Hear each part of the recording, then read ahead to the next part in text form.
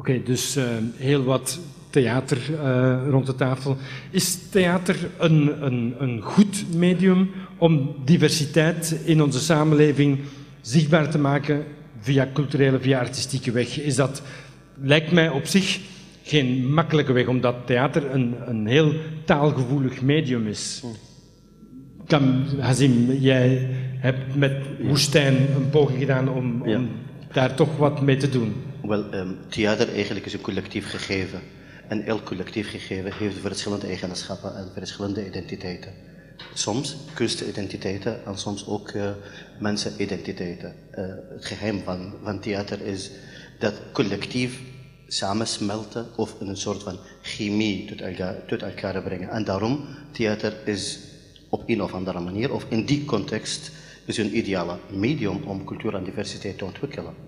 Maar is er dan bijvoorbeeld, wat is de, de goede reden om met een, met een eigen gezelschap te beginnen? Want je zou kunnen zeggen, het is belangrijker om deel te worden van, van bestaande gezelschappen, om op die manier de diversiteit binnen de gezelschappen te vergroten, in plaats van door een eigen gezelschap te creëren, de diversiteit binnen het spectrum te vergroten. Wat, wat, uh, waarom kies je voor het ene en niet voor het andere? In de kinderjaren van cultuur en diversiteit, ik bedoel daarmee, in de, in de tijd van multiculturaliteit, 19, begin 1990, 1994, wel, uh, het was uh, aspect uh, cultuur en diversiteit een, um, een zeer cruciale aspect. En dat was heel moeilijk om, om eigen cultuur en, eigen, en uw eigenschap te kunnen verder uitbouwen. En vandaar is ontstaan Woestijn 93 als reactie op uitsluiting. En, uh, maar daarna, tien jaar, tien jaar later, dit, uh, ja, dit fenomeen uitsluiting bestaat nu, bestaat nu niet meer. Uh, we zijn hoe, lang, hoe, langer hoe meer bezig met elkaar zoeken en niet elkaar uit te sluiten. Ja, dus jij hebt het gevoel dat de afgelopen tien jaar er heel grote stappen voorwaarts gezet zijn wat dat betreft. Inderdaad. Ja. Michael, nu voor men, mij... zou, men zou jou kunnen verwijten dat je de diversiteit in de samenleving als materiaal als grondstof gebruikt. en, en terwijl dat je er gewoon, dat je, dat je er eigenlijk in de creatie op het theater weinig zichtbaar maakt of weinig ruimte geeft aan, aan uh, kunstenaars of aan artiesten van diverse afkomst. Ja, die dingen zijn wel aan het veranderen in die zin dat mijn taak als artistiek leider nu anders is en dat er meer dingen van dat soort aan bod zullen komen. Maar om, om daarop te antwoorden en gekoppeld aan uw vorige vraag, volgens mij is theater een marginaal burgerlijk medium. En je moet dat ook zo behandelen. Dus je moet niet denken dat je in theater, uh, wie komt er naar theater kijken? Um, meestal uh, Vlaamse, bourgeois. Um, dat heeft, eens dat je beseft dat die komen kijken, heeft dat ook wel voordelen. Um, dus ik ben ook niet zo erg geïnteresseerd in een soort marginaal theater, waarbij, waarbij je, ja, of in een randcircuit, waarbij dat je mensen uh, over de vloer hebt die het al helemaal eens zijn met wat je doet. Ik denk wel dat theater, theater krijgt heel veel aandacht in kranten. Voor mij is theater eigenlijk een perfect laboratorium om de dingen waarmee je bezig bent aan te kaarten. En, en, en ik denk dat theater optimaal een soort um, um, plek kan zijn waar er nagedacht wordt over de samenleving. Maar theater is veel meer dan wat er gebeurt in die zaal. Dat is ook wat er de dag nadien in de krant komt en de dag voordien. Wat er op, ik bedoel, als breekijzer. Om een voorbeeld te geven, toen ik in het begin uh, dat, dat boek en die voorstelling over, over uh, asielzoekers aan het maken was, dan kwam ik op allerlei plekken, onder andere op DVZ en op het commissariaat, en ik mocht interviews bijwonen, wat een journalist nooit mag. En ze vroegen aan mij, wie bent u? Ik zei, ja, de regisseur. En dan zei ze, ah, kom maar af, daar is de regisseur. Oh, ik wil zeggen, omdat men daar terecht, enfin, dat, is, dat, dat vertelt twee dingen. Enerzijds dat zij het medium theater echt wel niet belangrijk inschatten. Anderzijds leert u dat ook als theatermaker, hoe dat... Uh, ik had feedback, hè. Uh, anderzijds vertelt dat de theater... leert me dat ook wel... Uh, zegt dat ook wel een beetje wat uw plaats is ja. binnen de samenleving. Heel veel mensen liggen er gewoon niet van wakker. Hè. Van theater moet je er ook, wat dat betreft, niet te veel...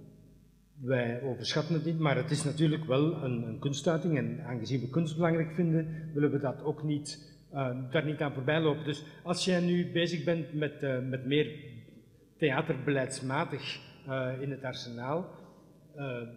Opteer jij dan voor, een, voor een, een, artistiek parcours waarin de diversiteit van Mechelen bijvoorbeeld gerepresenteerd wordt? Zoek je die diversiteit op of blijf je of ga je? Nee, nee, ik zoek, eerder het, het, het, artistieke puur zoals men vaak zegt, van ja, we moeten artistieke keuzes maken en niet sociale keuzes maken? Nee, ik denk, sowieso denk ik, want er is ook hier in, in, de, in de dingen die op die papieren staan, het onderscheid amateur-professioneel.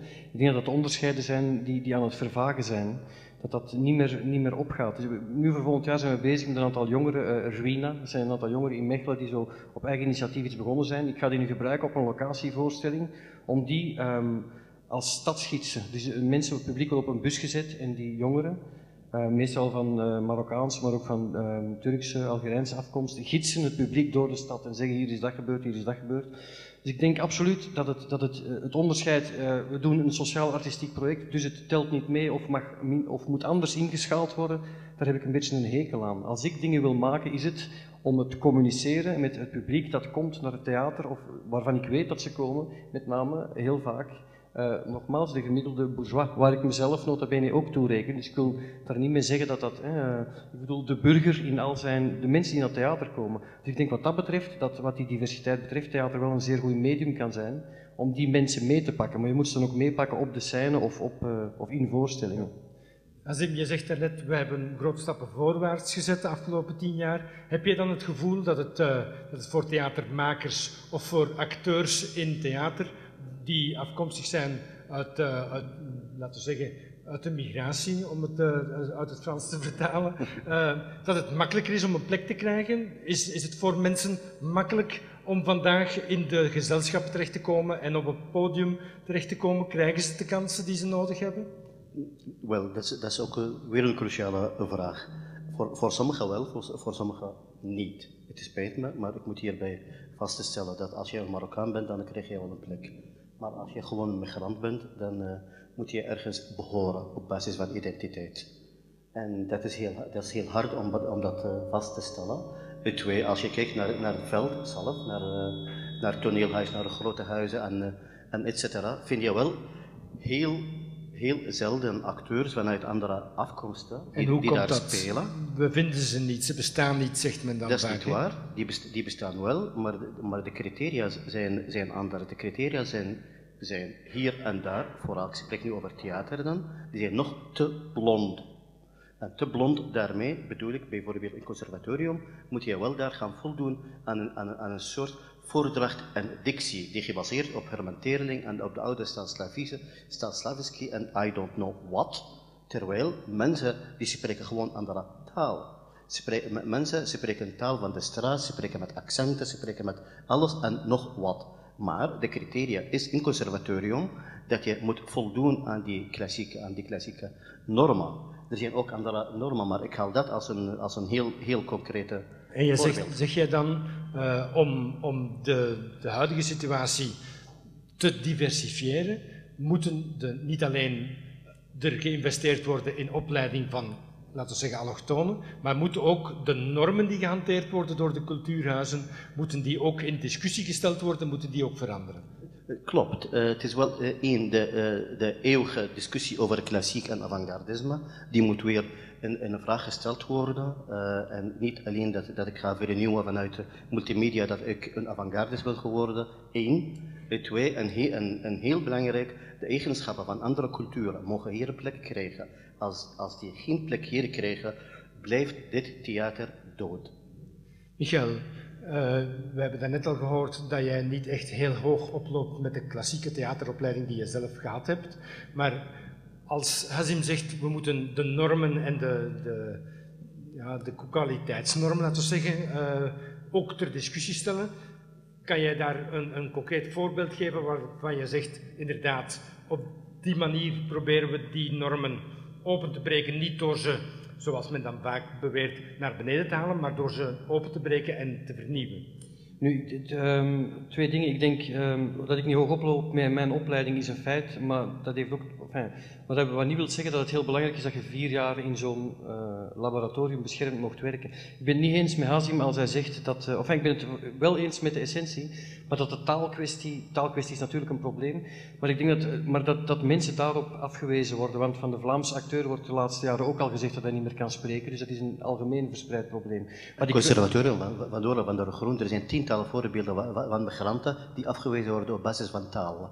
Zwat, kan. Maar wat ik wel denk, en dat, is, dat sluit volledig aan wel bij wat hij zegt, is dat, dat zoals onlangs die IQ-test uh, is even tegen het licht gehouden is, waaruit dat blijkt dat die volledig voortgaat op een referentiekader dat, dat niet dat, dat, dat op een, op een Vlaams, uh, historisch vanuit Vlaanderen onderbouwd is, denk ik ook dat cultuur, daar geef ik hem volledig gelijk, helemaal nog gestructureerd is, ook door de docenten in conservatoria.